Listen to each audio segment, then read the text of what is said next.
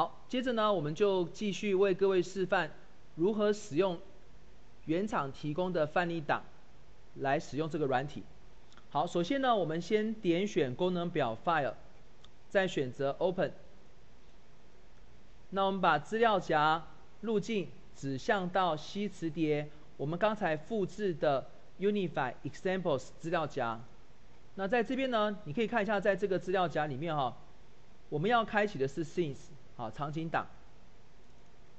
好，然后呢，打开 Fantasy，我们打开 Demo Scene Fantasy，它的档案格式 SCF，好，我们等一下存的时候呢，如果你自己做一个空白的专案档存档的时候呢，也是这个档案格式。好，再选择开启旧档，要不要把？目前的这个储存呢，不用了，我们按否哈。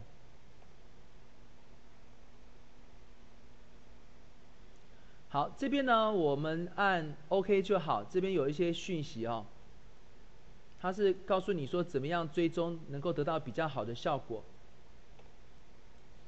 好，打开之后呢，OK，先确认你在这个地方已经载入了正确的摄影机校正档。我们刚才有做过嘛？啊，所以你这个部分呢，其实只要载入一次就可以了。但如果说你有换摄影机，或是你可能安装在另外一台电脑上的时候，你就要再做一次校正，好，重新产生一个 XML 档。好，接着呢，我们在开启之后，这个区块是让我们 load and manage image source，让我们载入与管理影像来源，啊，它可以是影像，也可以是影片。当然也可以是从 Webcam 取得的即时的影片。好，我们在这边选择 Choose Camera。这个时候呢，你可以看到你电脑上面安装的摄影机。我们在这边点两下。好，然后再按一下 OK。这个时候呢，我们把图卡哈，不是这个哈，不是这个，这个是刚才校正用的。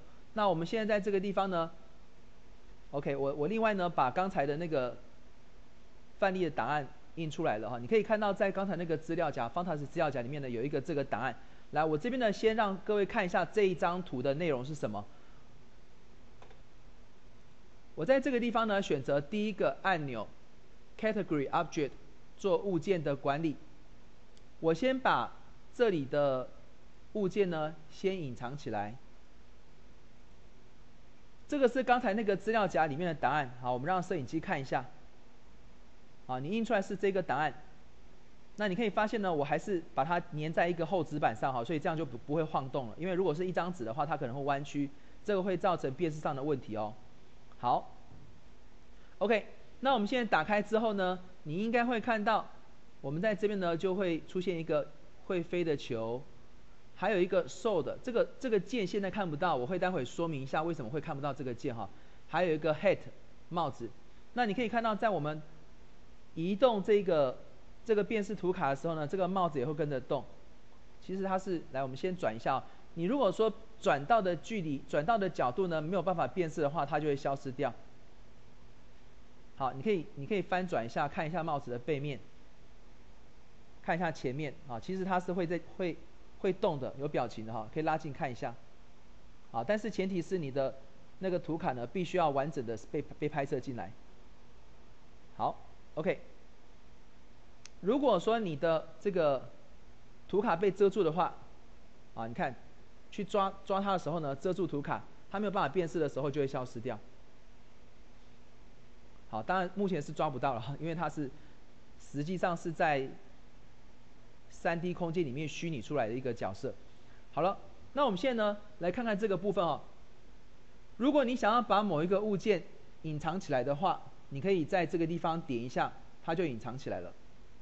好，然后像如果说我要把帽子隐藏起来的话，可以按一下这边的图示。可是你会发现这个地方呢有一个 sword，有一个有一把剑呢，它其实是没有出现的哈。那为什么会没有看到呢？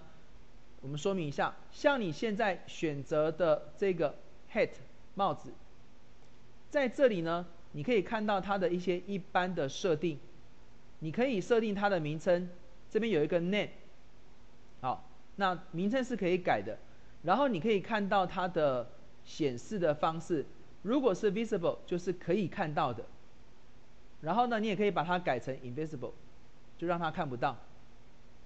好，那另外呢，也可以把它改成用 wireframe 的显示方式，用线框的显示方式，就好像在 3D 模型的这种显示方式，好，线框的显示方式。好，那如果你要让它变成是透明的话，也可以。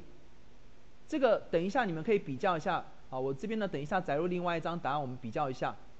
我这边呢再把它改回来。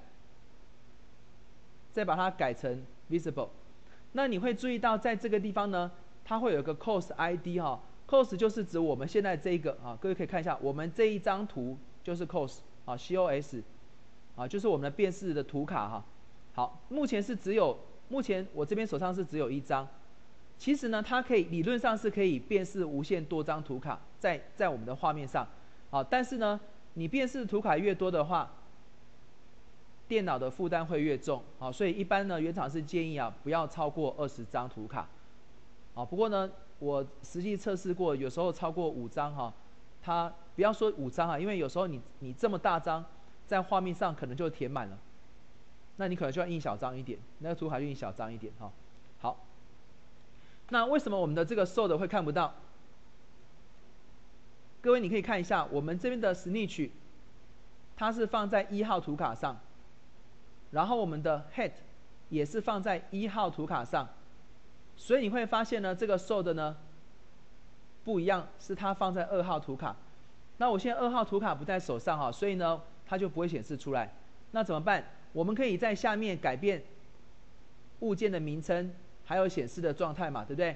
那此外呢，你也可以在这个地方选择这个物件它要放在哪一个图卡上哈。我可以选择这个 s o d 呢。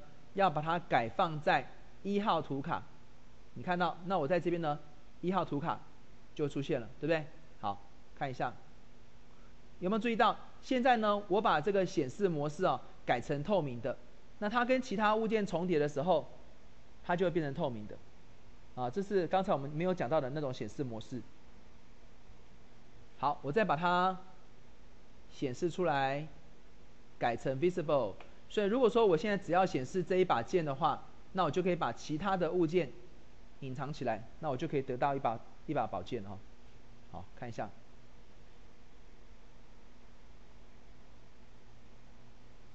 好，OK。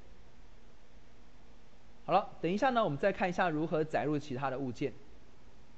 好，老师先为各位示范到这个地方。